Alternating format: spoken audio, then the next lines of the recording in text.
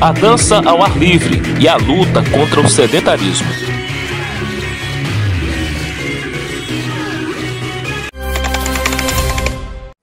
As alunas vão chegando. Boa tarde, meninos. Essa aqui é animada. Opa! E como Gosta de participar da dança aí do Luquinha? Adoro.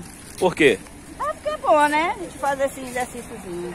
Né não? Tava com saudade? Tava com saudade. Já tava com uns três, era quatro meses que nós não fazíamos essa atividade, né? Agora voltamos de novo. Mas o que? Foi o médico que pediu ou foi decisão sua? Ah, Não, o médico passou para me fazer porque eu faço um tratamento na Aldenora Bela, né? Aí ele disse que era bom fazer umas caminhadinhas, umas ondas, se tivesse aqui na minha cidade. Aí eu faço. Não faço como as outras ligeiras, mas, né, eu faço.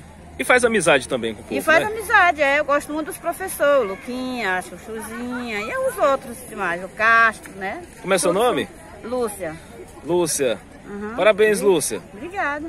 Acho que já, já tem nove anos, nove anos que eu danço. E aí, onde tem, você vai. Aonde tem eu vou, na Trizutela, no Novo Bacabal, na, na Praça da Bíblia, na, pra onde tiver, na Coabinha, na, na Coelho Dias, aonde tiver zumba eu tô dentro. Aí já, já até engordei uns quilinhos, só tá sempre dentro de casa, sem fazer Por causa nada. da pandemia. Por causa da pandemia, só dentro de casa, sem fazer nenhum movimento. Agora vai voltar, Com recuperar. certeza, em nome de Jesus. Como é que você chama? Meu nome é Ivonete, Ivonete, trabalha do que, Ivonete? do lar, Em casa mesmo, né? Mas o trabalho é duro também, né? com certeza. Todo mundo prevenido já. E tem sacola também. O que, que tem nessas sacolas aí? Água para refrescar. Como é? É água para refrescar. Tem que trazer água de casa. Quanto tempo você faz aí a, a dança? Ah, já tá quase um ano. É? Quantos anos você tem? 19. 19 anos. Quer dizer, tá aguardando aí, já tá se preparando para mais tarde, né?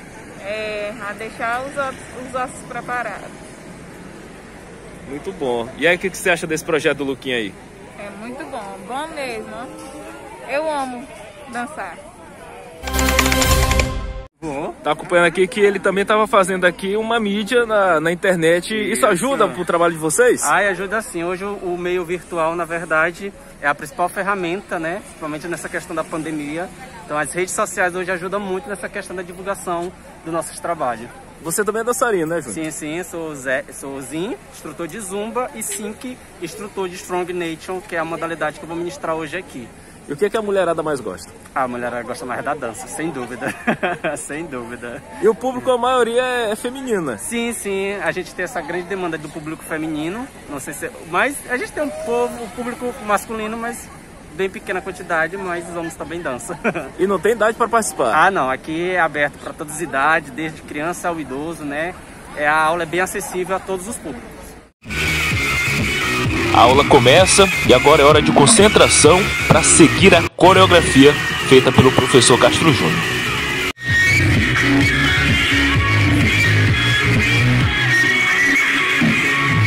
O projeto acontece em dois dias da semana, na terça-feira no Centro Cultural e na quinta-feira na Avenida João Alberto. E as aulas são quase sempre assim, lotadas.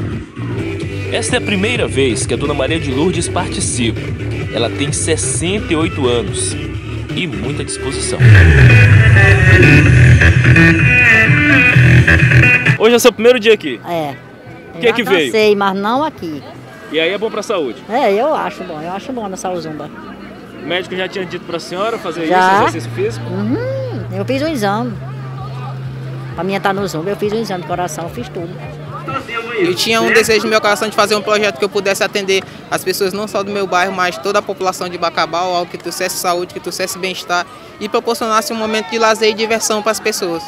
E hoje vocês não fazem só aqui, né? Tem outro ponto. Esse ano a gente teve uma mudança no projeto. Uma das coisas que a gente pensou foi em atender um outro público, então a gente trouxe também para o Centro Cultural de Bacabal. O projeto acontecia aos sábados na Avenida João Alberto de Souza. A gente mudou para quinta-feira e trouxe para terça-feira para o Centro Cultural. Quando a gente chega, geralmente elas já estão esperando, já tem aquele carinho com a gente. É, cada modalidade dura geralmente em torno de meia hora cada aula. A gente sempre traz duas modalidades para elas, tanto na terça como na quinta-feira. E o projeto só tem a crescer. As aulas chamam a atenção de quem passa pelo local. O povo para, admira, mas alguns não têm coragem de fazer tudo isso aí não. Tem coragem de encarar esse rojão? Não, não, não, tô não. Tô não, tô olhando aqui justamente para ver se crio coragem.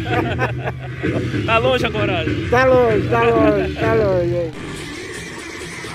A noite chega e a dança não para. O Luquinhas assume a segunda aula, ao som do paredão.